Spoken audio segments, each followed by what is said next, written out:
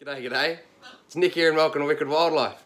And today, I want to introduce to this guy. This guy's name is actually Mick. And Mick is an Eclectus parrot. Belongs to a friend of mine who I'm lucky to visit and, and show you this guy.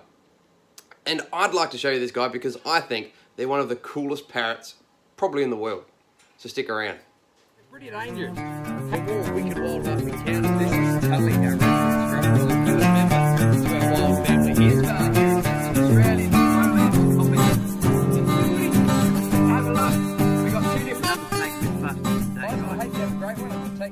So parrots as a family are full of diverse and vibrant species, but very few of them compared to this guy here, the Eclectus parrot, for being a colourful bird.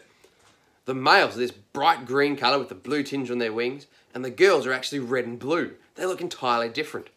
Now they're native to sort of the top end of Cape York Peninsula here in Australia, but they're really mostly found in places like New Guinea and the Solomon Islands and adjacent islands in sort of Southeast Asia and Oceania.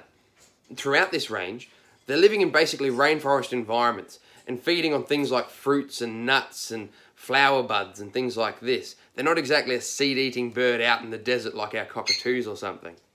While here in Australia, they're a fairly unusual sight and only found in a very small part of the country. In other parts of their distribution, they're actually regarded as a pest by some people because their love of fruit can make them an issue for some small village farmers in parts of Indonesia and Papua New Guinea. Of course, the most interesting thing about these guys is that sexual dimorphism, the fact that males and females look so different. And in fact, there is no parrot on Earth that is as sexually dimorphic as these guys. That colour difference, the green males and the red females, is actually so far apart that for the first hundred years of Europeans living in these areas, they actually thought the two were different species. It wasn't until the early 20th century that we figured out that these red birds and these green birds were just males and females of the same species. So it's pretty cool. The other thing that's particularly interesting about this sexual dimorphism is that generally in birds, the more colourful sex is going to be the male. He's colourful to attract a mate. Now, while this guy here is certainly pretty impressive and pretty vibrant green, when you see the girls, red and blue, they really stand out. And the reason why the girls are so colourful and the boys are so, I suppose, camouflaged is because of their unique reproduction technique. You see, generally in parrots, the, a pair will mate for life, one male and one female. But Eclectus parrots in the wild are fairly unusual in that a female will find a hollow and she will guard that hollow and basically never leave. Now, while she stays there, she'll be fed by several males that'll all come and they'll be feeding her. They, in turn, will be visiting several females in their own nests. So the female wants to be this bright colour so that the males can see her when they're coming in and she can get a feed from them.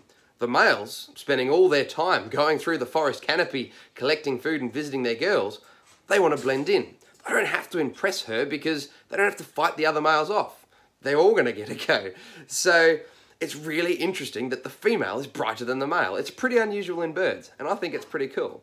So, as you can see, this guy here is about as tropical and exotic as a parrot gets, and it's pretty amazing that we have them in Australia. It's really a little slice of New Guinea that we have up in the top end of Queensland. And I'm pretty lucky to be able to show you this guy here today. But as always, guys, if you have enjoyed meeting Mick here, or uh, any of the other animals that I hope to bring you guys over the next few episodes, please hit the subscribe button. If you enjoy the video, leave a like, a comment, all that sort of thing. And as always, guys, be nice to our wildlife. Have a good one and take care.